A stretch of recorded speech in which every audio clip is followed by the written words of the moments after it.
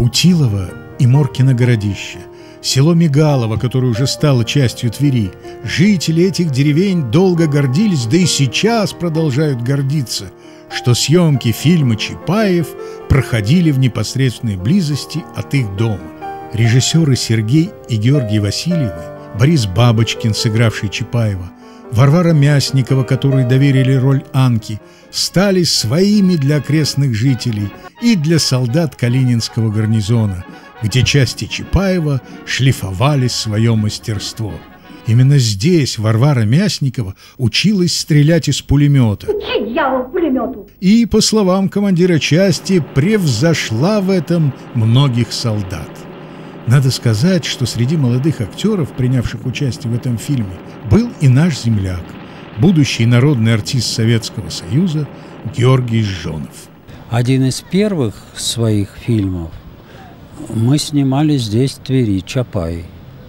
И жили даже где-то здесь был в центре такой штаб армии, и вот в этих штабных домах – мы жили, тогда не было ни гостиниц, ничего. Мы жили, а потом жили где-то километров 40 на Волге, где снимали все натурные сцены фильма «Чапаев». Многие кадры фильма «Чапаев» наши, тверские. Вот на этом мосту стоят Фурманов и Чапаев. Эта сцена снята в наших краях, неподалеку от деревни Путилова. Мост этот был перекинут через ручей Брендеиха.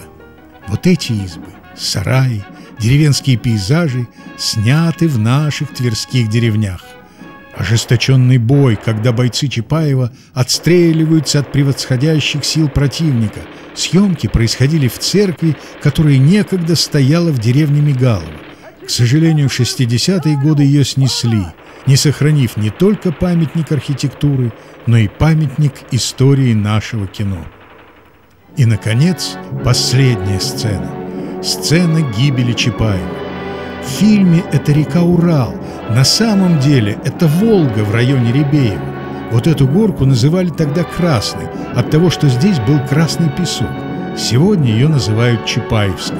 Именно здесь и снималась вот эта сцена, покорившая зрителей во многих странах мира. Лёш, не возьмешь!